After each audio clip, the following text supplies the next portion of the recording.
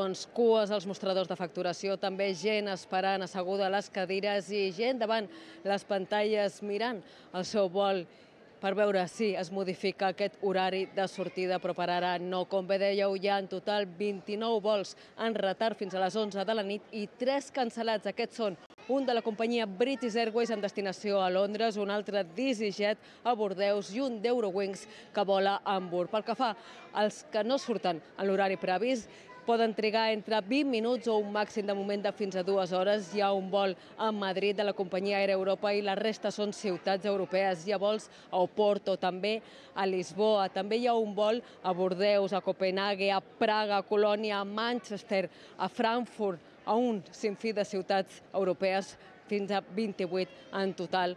La 29 seria Madrid. Avui és el dia més trànsit a l'aeroport de Son Sant Joan. Es preveuen un total de 1.093 moviments entre enlairaments i aterratges. Segons ens diu AENA, és normal que ocorreixin coses com aquesta, vols en retard o cancel·lacions quan es tracta de l'operació sortida, una operació que va començar dimecres i que finalitza demà i que en total als tres aeroports de les Balears ha programats de vers 8.000 moviments.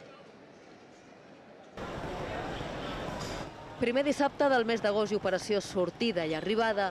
Avui més de 1.700 moviments als tres aeroports de les illes. Plena vessasta la terminal d'arribades. Són molts els turistes que han aterrat per passar les seves vacances a Mallorca. N'hi ha que repeteixen. De Madrid, de Madrid, unos días, no muchos. De, de Suïssa. D'altres estrenen destí. Mai he estat aquí. N'he sentit a parlar i ha de ser un lloc bonic. beautiful place. Yo sí que estuve una vez de fiesta. Pero sí, para ellos es la primera.